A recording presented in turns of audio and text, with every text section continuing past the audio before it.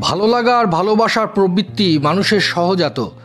কিন্তু সহজাত এই প্রবৃত্তি প্রকাশ করায় জীবনও দিতে হয়েছে অনেককে।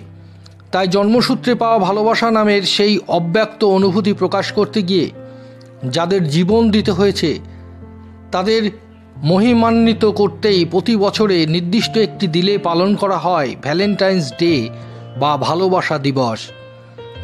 প্রতি বছরের চোদ্দই ফেব্রুয়ারি কেন ভালোবাসা দিবস উদযাপন করা হয় এ নিয়ে প্রশ্ন রয়েছে অনেকের।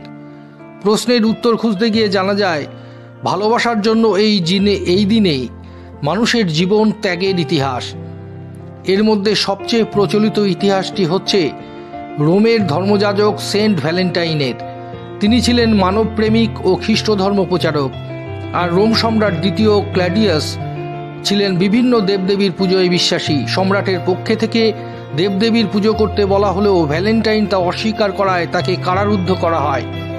সম্রাটের বারবার খ্রিস্ট ধর্ম ত্যাগের আখ্যা, আজ্ঞা প্রত্যাখ্যান করলে দুশো সত্তর খ্রিস্টাব্দের চোদ্দই ফেব্রুয়ারি রাষ্ট্রীয় আদেশ লঙ্ঘনের দায়ে ভ্যালেন্টাইনকে মৃত্যুদণ্ড প্রদান করেন। সেই থেকেই দিনটি শুরু। আরও একটি প্রচলিত কাহিনী আছে সেন্ট ভ্যালেন্টাইনকে নিয়ে। সেন্ট ভ্যালেন্টাইন কারারুদ্ধ হওয়ার পর অনেক যুবক যুবতীদের অনেকেই প্রতিদিন তাকে কারাগারে দেখতে আসতো এবং ফুল উপহার দিত। তার বিভিন্ন উদ্দীপনামূলক কথা বলে সেন্ট ভ্যালেন্টাইনকে উদ্দীপ্ত রাখত। এক কারারক্ষীর এক অন্ধ মেয়েকেও ভ্যালেন্টাইনকে দেখতে যেত। অনেকক্ষণ ধরে তারা দুজন প্রাণ খুলে কথা বলতো। একসময় ভ্যালেন্টাইন তার প্রেমে পড়ে যায়। সেন্ট ভ্যালেন্টাইনের আধ্যাত্মিক চিকিৎসায় অন্ধ মেয়েটি দৃষ্টিশক্তি ফিরে পায়। ভ্যালেন্টাইনের ভালোবাসা ও তার প্রতি দেশের যুবক যুবতীদের ভালোবাসার কথা সম্রাটের কানে গেলে তিনি ক্ষিপ্ত হয়ে দুশো উনসত্তর খ্রিস্টাব্দের চোদ্দই ফেব্রুয়ারি তাকে মৃত্যুদণ্ড দেন। এছাড়া খ্রিস্টীয় ইতিহাস মতে রক্তপিপাসু রোমান সম্রাট ক্লডিয়াসের দরকার এক বিশাল সৈন্যবাহিনীর, কিন্তু কেউ তার সেনাবাহিনীতে যোগ দিতে রাজি নয়। সম্রাট লক্ষ্য করলেন যে অবিবাহিত যুবকরা যুদ্ধের কঠিন মুহূর্তে অত্যাধিক ধৈর্যশীল হয়। ফলে তিনি যুবকদের বিবাহ এবং যুগলবন্দী হওয়ার উপর নিষেধাজ্ঞা জারি করেন, যাতে তারা সেনাবাহিনীতে যোগ দিতে অনীহা প্রকাশ না করে। আর এ ঘোষণায় দেশের যুবক যুবতীরা খেপে যায়। যুবক সেন্ট ভ্যালেন্টাইন নামের এক ধর্মযাজক ও সম্রাটের এই নিষেধাজ্ঞা কিছুতেই মেনে নিতে পারেননি। প্রথমে তিনি সেন্ট মেরিয়াসকে ভালোবেসে বিয়ের মাধ্যমে রাজার আজ্ঞাকে প্রত্যাখ্যান করেন এবং তার গির্জার গোপনে বিয়ে পড়ানোর কাজও চালাতে থাকেন। একটি রুমে বরবধূ বসিয়ে মোমবাতির স্বল্প আলোয় ভ্যালেন্টাইন ফিসফিস করে বিয়ের মন্ত্র পড়াতেন। কিন্তু এই বিষয়টি একমাত্র।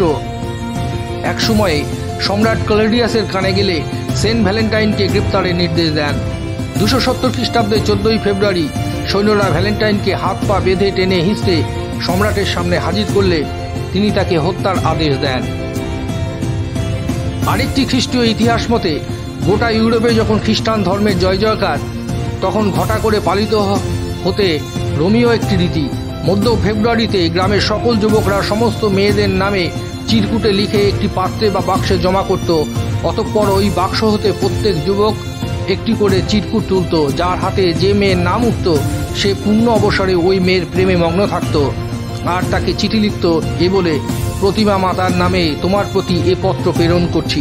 বছর শেষে এ সম্পর্ক নবায়ন ও পরিবর্তন করা হতো। এই রীতিটি কয়েকজন পাদ্রির গোচরীভুক্ত হলে তারা একে সমূলে উৎপাটন করা অসম্ভব ভেবে শুধু নাম পাল্টে দিয়ে একে খ্রিস্টান ধর্মায়ন করে দেয় এবং ঘোষণা করে, এখন থেকে এই পত্রগুলো সেন্ট ভ্যালেন্টাইনের নামে প্রেরণ করতে হবে। কারণ এটা খ্রিস্টান নিদর্শন, যাতে এটা কালক্রমে খ্রিস্টান ধর্মের সাথে সম্পৃক্ত হয়ে যায়। অন্য আরেকটি ইতিহাস অনুসারে প্রাচীন রোমে দেবতাদের রানী জুনোর সম্মানে চোদ্দই ফেব্রুয়ারি ছুটি পালন করা হতো। রোমানরা বিশ্বাস করত যে জুনোর ইশারা ইঙ্গিত ছাড়া কোনো বিয়ে সফল হয় না। ছুটির পরদিন পনেরোই ফেব্রুয়ারি লুপোরকালিয়া ভোজ হিসাবে হাজারো তরুণের মেলায় রাফেল ড্রয়ের মাধ্যমে সঙ্গী বাছাই প্রক্রিয়া চলত। এই উৎসবে উপস্থিত তরুণীরা তাদের নামাঙ্কিত কাগজের স্লিপ জনসম্মুখে রাখায় একটি বড় পাত্রে ফেলত। সেখান থেকে যুবকদের তোলা স্লিপের তরুণীকে কাছে ডেকে নিত। কখনো এই জুটি সারা বছরের জন্য স্থায়ী হতো এবং ভালোবাসার সিঁড়ি বেয়ে বিয়েতে পরিণত পেতে, পেত এই সম্পর্ক। ওই দিনের শোকগাথায় আজকের এই ভ্যালেন্টাইন ডে।